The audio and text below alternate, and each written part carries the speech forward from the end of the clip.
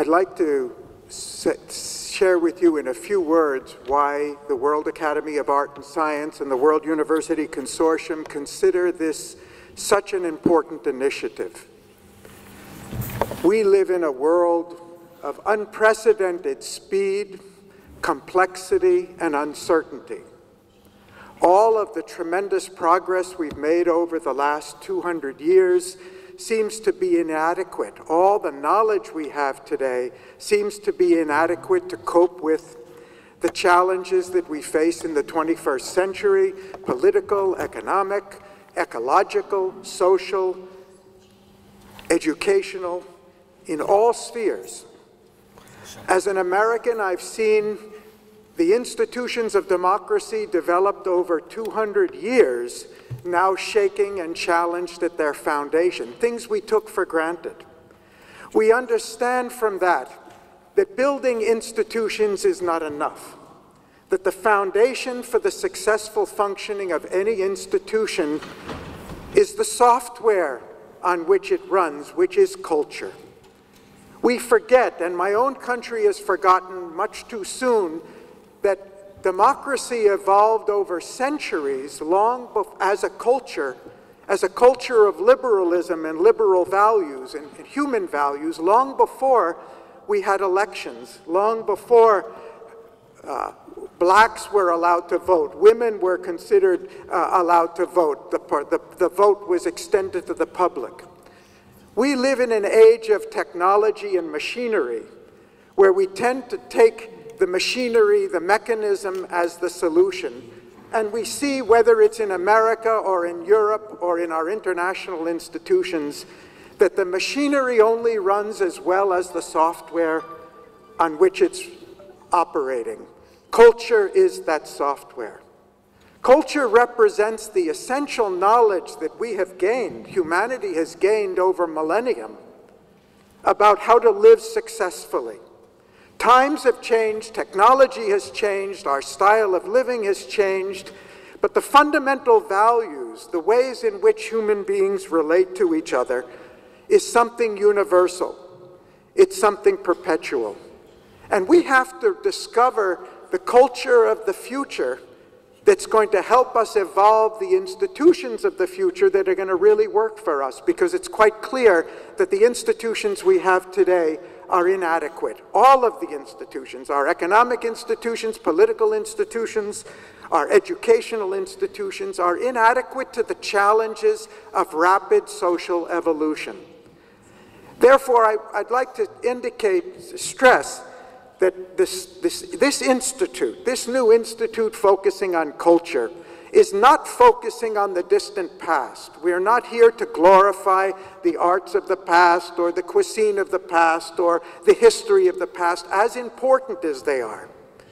We're here to draw on the essential knowledge that humanity has acquired in the past so that we can move on to the future. There are other institutions to preserve the past but we need to create the future. If you think about human creativity, how we have evolved from the time out of the forest, it is the meeting of different people with different language, different habits, different traditions, different experiences has been the source of all our creativity. All our creativity comes from confronting something different that doesn't fit within our conceptual framework, that's different from the way we live, the way we behave, and broadening our outlook in order to encompass a wider perspective. And that's what we have in humanity today, an unprecedented exposure to different points of view. And this region plays a critical role in the future evolution of humanity. This is a meeting place of East and West, at a time when we're globalizing.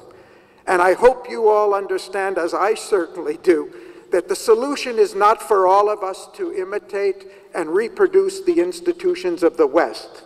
They have taken us to a certain level, and we see the challenges that our economic and our political and our social system faces today. We need new and better solutions that are more integrated, more comprehensive, There are lessons to be learned from all over the world as to how to fashion not only the institutions, but the software, the cultural software on which they're to be based. Unless we do that, we won't have peace anywhere in the world in future. If we do that, we can really build what President Constantinescu rightly calls a culture of peace. As we see it in the Academy, the priorities of this institution are cultural in the broadest sense. In how do we foster effective international relationships? How do we promote employment on a global level? Because the problem of employment is not local or national, it's a challenge for the youth of all humanity. How do we promote the implementation of the SDGs uh, on a global level? Because we can't achieve them locally, and if we did, it wouldn't solve the serve the purpose.